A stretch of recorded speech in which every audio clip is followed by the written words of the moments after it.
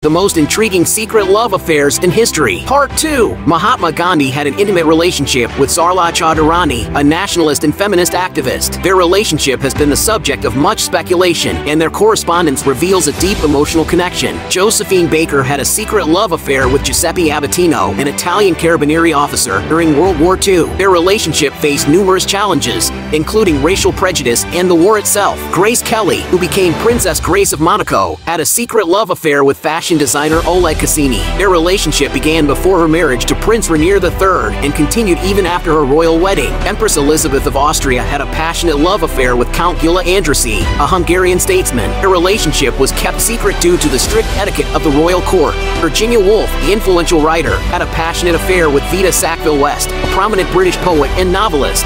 Their relationship inspired Woolf's novel Orlando, which explored themes of gender and identity.